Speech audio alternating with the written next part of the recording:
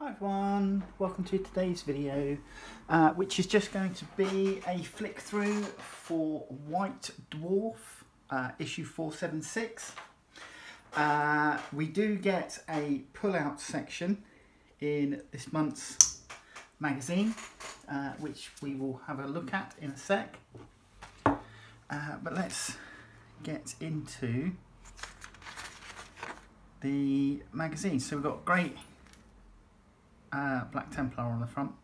Um, inside we've got some Crusade rules for Falling to Chaos, rules update for Hedonites of Slaanesh, new rules for Sentries and Kill Team, Galactic War Hosts Zealots, and four new fighters for Warcry. Okay, which is what these cards are. Right, so we got the introduction here by the managing editor, and then straight to the contents.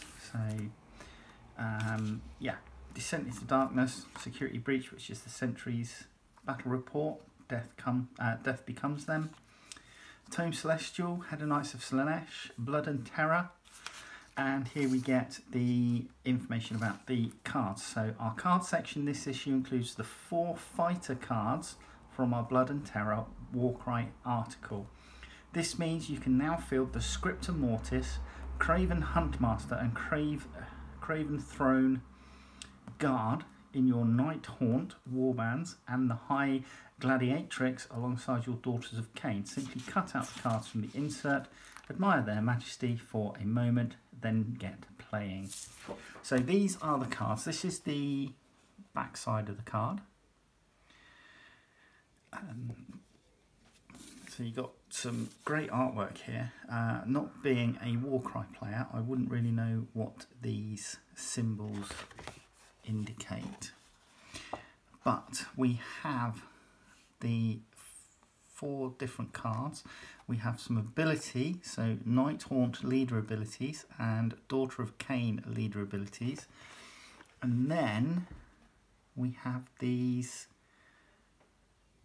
White Dwarf paint recipe cards. So I'm assuming that you cut these out and you write what paints you're using when you're making your miniature, painting your miniatures. Uh, great idea. Uh, I've seen people use um, small notebooks and things like that for uh, printing out a photograph of their of a miniature and then just making notes with what their colour scheme is going to be. Contact. So, painted miniatures and letters from the readers. Uh, so an interesting green and black Tau stealth suit team here. Um, great Tyranid colour scheme here, ice uh, kind of scheme.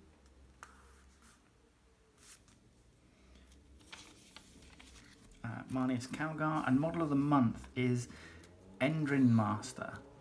We delve into a Skaven sewer to look at this issue's model of the month by Jonathan DeVos.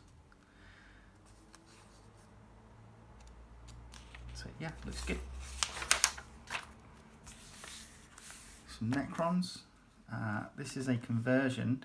Uh, Dark Mechanicum Tech Priest uh, and this looks like a conversion using the uh, Canoptek Spider from the Necrons as well as a Tech Priest from the Adeptus Mechanicus.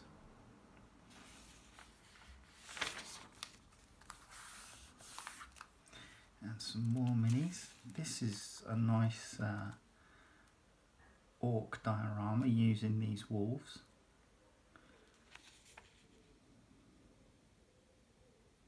And then there's a short paint question here uh, and what they've done to paint these up in the cult of Writhing Shadow.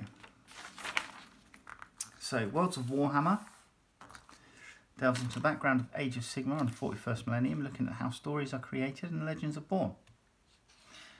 Uh, this one looks to be about I'm seeing a lot of um, Space Marine stuff here.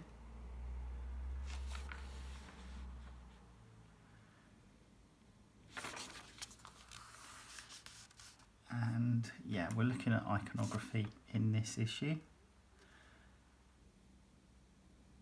So, Space Wolves, Imperial Fists, World Eaters, we've got some of the Eldari, some of the uh, tactical symbols that go on the shoulder pauldrons for Space Marines, uh, some more uh, icons here, Khorne, Nurgle, Tzeentch, Slaanesh,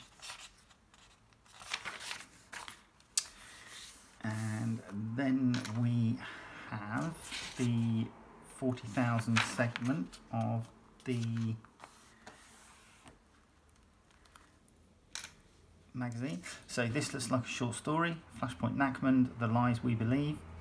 The Shorval 477th are embroiled in a bitter war with forces of chaos, outnumbered and outgunned, only their faith keeps them in the fight. But can they hold out until much needed reinforcements join the battle?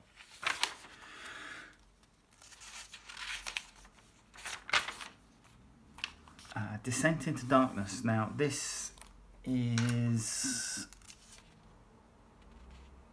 This is again the Zealots and Faith articles. So, got some Chaos cultists there. Righteous Aftermaths. Yeah, so this looks like information on Chaos cultists. Uh, Imperial Zealots obviously people like the uh, Sisters of Battle and Black Templars are quite zealous in their unwavering faith of the Emperor. Quick paint call out for painting this statuary and the Black Templar beside and some more here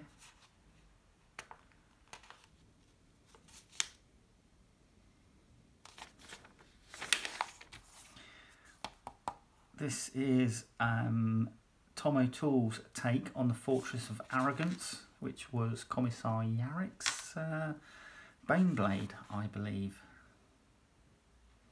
during the Armageddon War.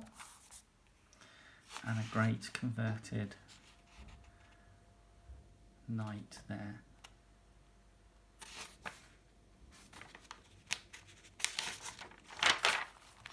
Unseen Lurkers Again, this is uh, seems to be another short story. Catachan Jungle Fighters this time. And then we have Security Breach, using sentries in your kill team. Great artwork of the uh, Krieg Guardsmen facing off against the Orc Commandos. Critical Operations Sentries Mission Pack.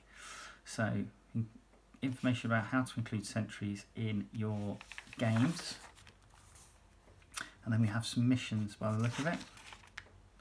Secure approach, advanced capture, spike data core, designated priorities, secure supplies, and initiate transmission. Operation briefing, semi-regular column about rules, tactics and gameplay of Warhammer 40,000 Kill Team. In this issue's instalment, Rules Master Elliot Hammer takes a closer look from behind cover at line of sight. So yeah, just exploring line of sight in your games. And then we're into Warhammer Age of Sigmar segment. Uh, some great miniatures painted here. So rules of engagement. This time Luis Aguilar has escaped from his crypt to take a closer look at the Night Haunts new rules.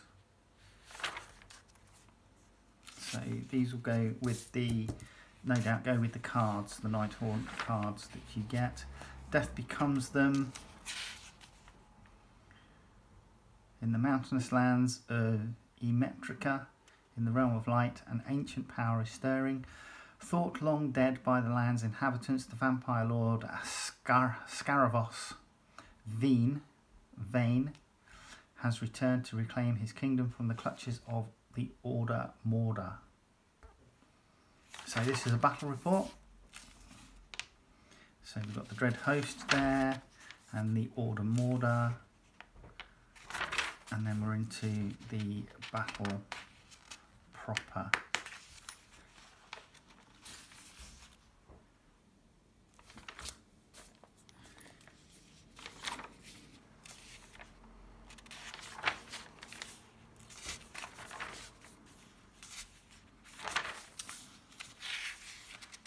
So, several pages handed over to the battle report. Realm of Beasts. Ghur is a realm red in tooth and claw. It's savage lands. Play host to countless daily struggles between predator and prey.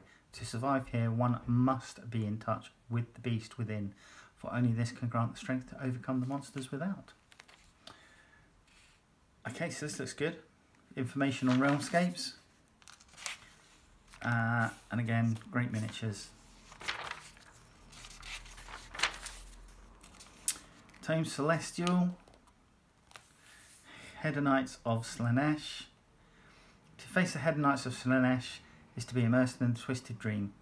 These hosts of dark-hearted revelers, disciples of excess, and demons born from vilest pits of mortals of the mortal soul seek only to satiate their fell urges through carnage. They are corruption and wickedness personified, growing stronger from each atrocity they commit. So, there you go. New rules for Hedonites of Slaanesh update.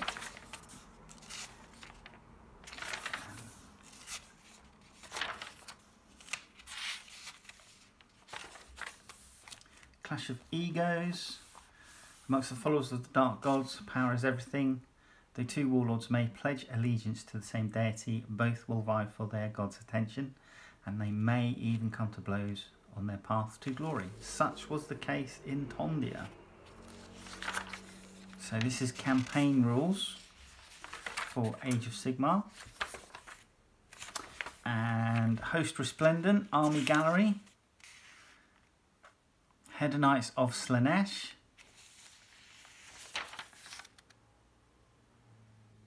and these are really nice. I'm liking these. I mean, I don't play uh, Age of Sigmar or Warcry or anything like that, but I'm liking the um, the aesthetic here.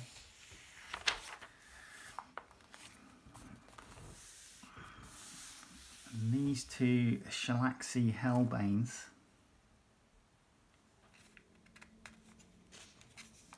Yeah, really, really good.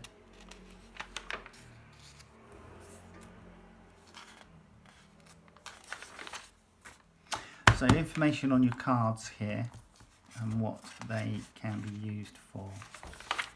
You then have some new rules and battlefields.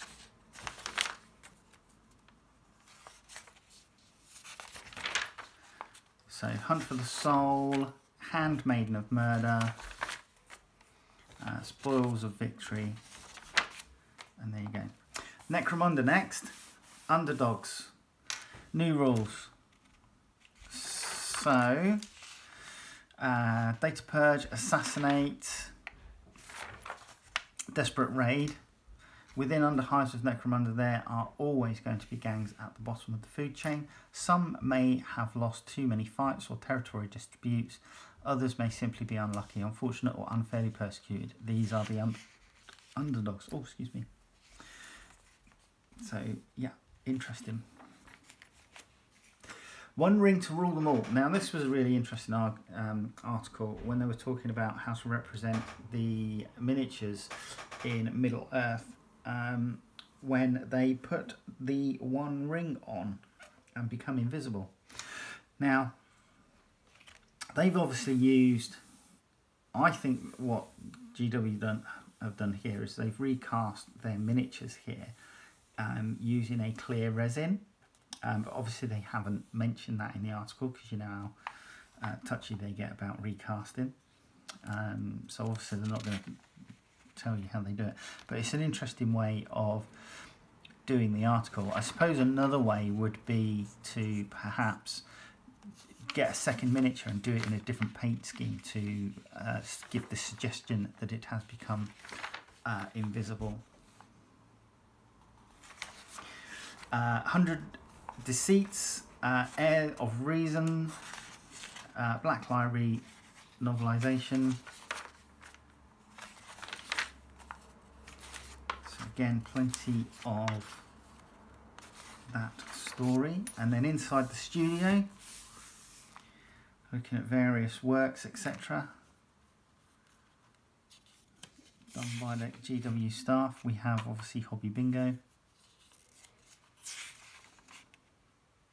This is interesting. what is this?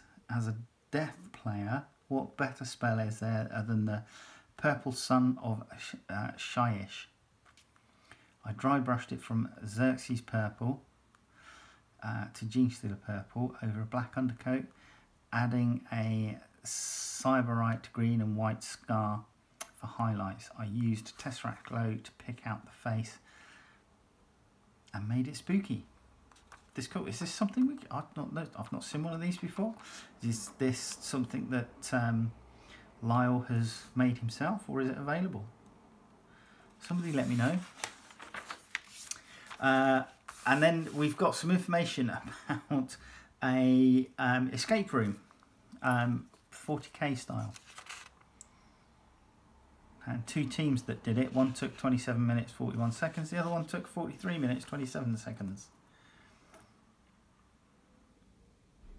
So yeah, interesting. And then the final two pages, and the next issue is out on June 17. So there you go. That was White Dwarf 476. Hope you enjoyed that. Uh, please join me in the next video. And until then, take care. All right, bye-bye.